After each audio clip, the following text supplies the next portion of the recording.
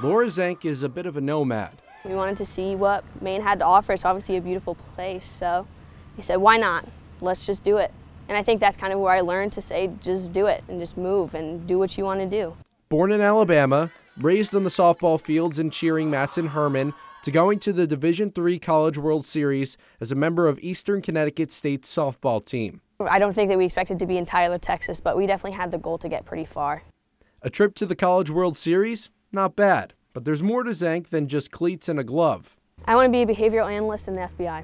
Zenk's lofty goals show just how important school is to her. She's in the honors program and finished her first year with a 3.8 GPA.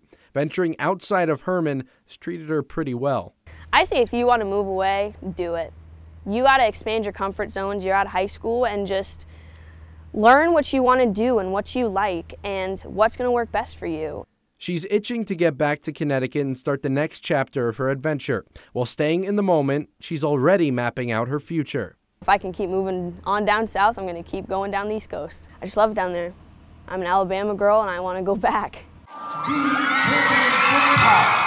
In Hermon, Andrew Badillo for ABC7 and Fox 22.